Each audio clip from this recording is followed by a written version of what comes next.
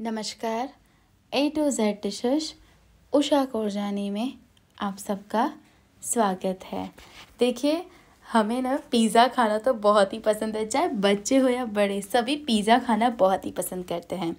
तो मैंने सोचा, आज कुछ अलग बनाते हैं। घर पर ना रोटियाँ बच गई थी, ये जो गेहूँ के आटे की रोटियाँ हम बनाते हैं रोज़ाना तो ये बच गई थी। कभी कभी तो देखिए, सब बच ही जाता है। तो मैंने सोचा, बनाते हैं ये रोटी से पिनविल पिज़्ज़ा। ये काफ़ी अलग है, जैसे हम पिज़्ज़ा बनाते हैं उससे अलग है, पर इतना मज़ा आ जाएगा ना इसे खाकर आपको। उसके लिए आपको ले लेनी है बची हुई रोटियाँ। देख सकते हैं, तकरीबन ना मैंने ये सात से आठ ले ली है।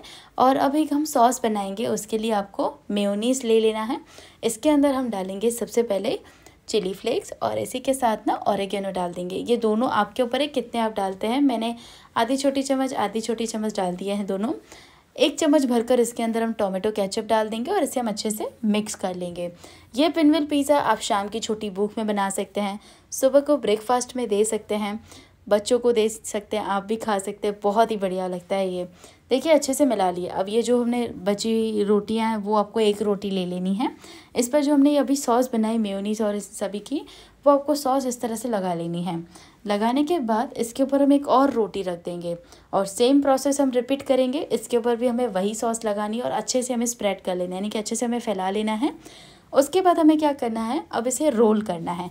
देखिए, ये पिनविल पिज़्ज़ा है और ये बहुत ही टेस्टी लगती है। एक बार ज़रूर ट्राई कीजिएगा। इस तरह से रोल कर दीजिए। दो दो रोटियों के हमें इस तरह से रोल बनाने हैं। इसी तरह से मैंने ये दूसरी रोटी ले ली। इस पर भी हमने अच्छे से ये लगा ली है जो हमने बनाई थी सॉस। दूसरी रोटी रख दी। इस पर भी हम अच्छे से ये लगाएँगे। बहुत ही आसानी है, झटपट से बन जाती है। बच्चे से लेकर बड़ों तक को पसंद आए। कोई देखिए, घर पर पार्टी है। कोई अच्छी सा आपको मज़ेदार सा कुछ खाना है, तब भी आप ये बना सकते हैं। देखिए, मैंने इस तरह से तीन रोल बना लिए। अब इसे हम कट करेंगे। देखिए, इस तरह से थोड़े मोटे टुकड़े आपको करने हैं, ज़्यादा पतले नहीं कीजिएगा। अब हमने गैस को ऑन करके पैन रख दिया और इसमें हम डालेंगे बटर, यानी कि मक्खन। और मक्खन जैसे गर्म हो जाए ना तो हमने ये जो रोल कट किए थे ना, ये पिनविल जैसे, पिनविल के शेप में, बस इस तरह से हमें रखते जाना है। पर इस तरह से ही रखना है, जैसे देखिए, ये ऊपर की तरफ़ ही आपको रखना है। तो बस इस तरह से एक सर्कल में से रख दीजिए, पूरा एक राउंड बना लीजिए। और बस अब इसके ऊपर हम डालेंगे ये बॉइल्ड स्वीट कॉर्नस यानी कि कॉर्नस डाल दीजिए। और इसी के साथ ना ऊपर से हम डाल देंगे दो हरी मिर्ची इस तरह से कटी हुई। और यहाँ पर मैंने प्याज को इस तरह से काट लिया था डाइस में। आप चाहे कैसे भी इसे कट कर सकते हैं, प्याज भी हम डाल देंगे। और अब आती है खूब सारे चीज़ की बारी।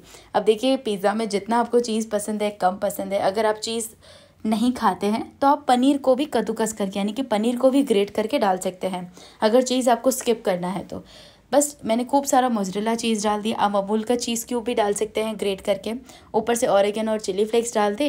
इसे ढककर बिल्कुल लो फ्लेम पर, यानी कि बिल्कुल धीमी आँच पर चीज़ मेल्ट होने तक पका लीजिए।